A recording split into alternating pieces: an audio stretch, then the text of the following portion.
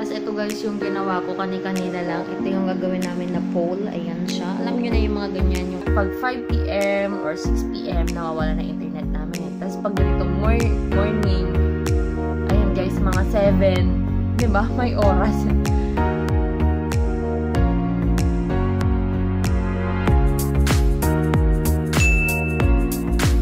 Good morning everyone! Welcome back to another vlog!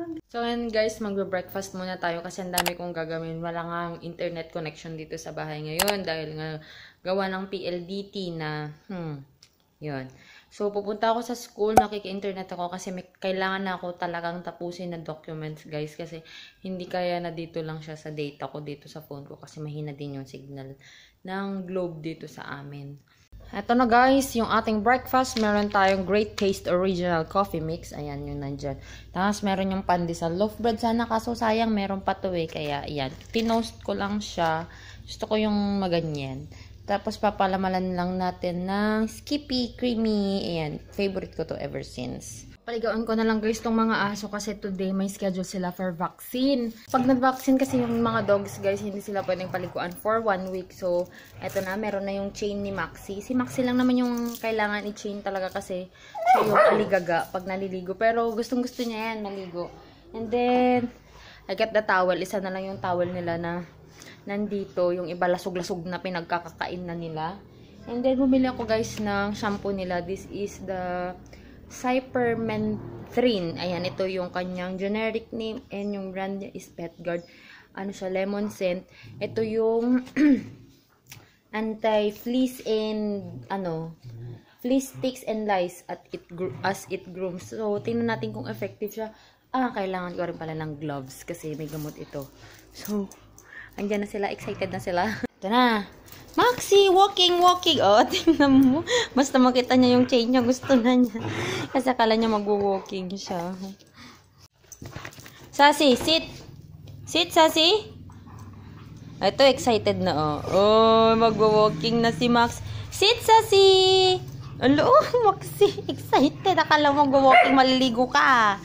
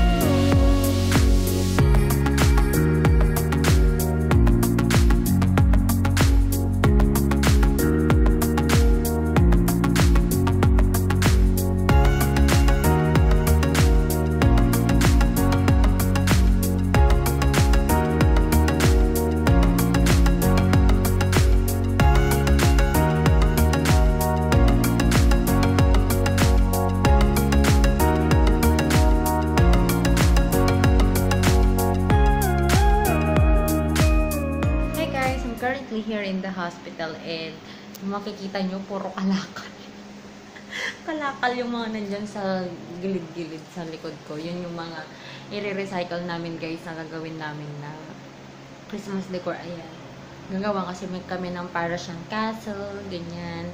So, dito yung ibang karton, ibang de-decoration namin kasi may pa-contest dito sa hospital. Tapos ito guys, yung ginawa ko kani-kanila lang. Ito yung gagawin namin na pole. Ayan siya. Alam nyo na yung mga ganyan, yung may to arundel, ganyan. Tapos papakita ko sa inyo si snowman namin na mataba. Tapos ito guys, ito yung magiging snowman namin. Square si snowman namin, rectangle. I mean, ito yung ginamit namin, yung mga supot, mga ganyan. Iyon.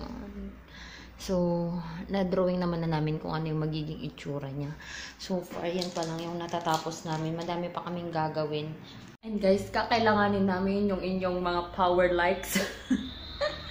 Kasi, kailangan daw pa-like yan. So, I will put the link in the description box down below guys kapag up na yon yung video na yun. Ala, hindi pa siguro. May that time na in-upload ko na to. But anyway, kung meron na yun, kung naka-up na yung mga links namin. Nilagay ko na lang sa description box or I will update you guys. I will be needing your support this time. Ayan. Good morning, guys! Morning natin, hindi siya masyadong good. Sa so, walang pakaramdam ko kasi kaninang dumating ako ng 11pm dito sa bahay. Nanood pa ako hanggang alas 2 ng madaling araw. Tapos, 5, bumang uh, bumangon ako kasi pinasend off ko sila lola ko. Umuwi na sila sa Ilocos.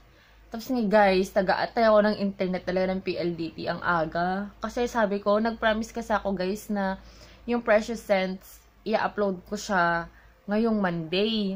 Nag-post pa ako ng Saturday. Hindi ako nakapag-upload ng Sunday para sana mas-sked siya kasi walang internet.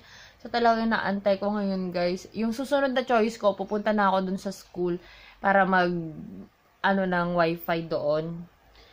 Trinay ko guys na mag-upload.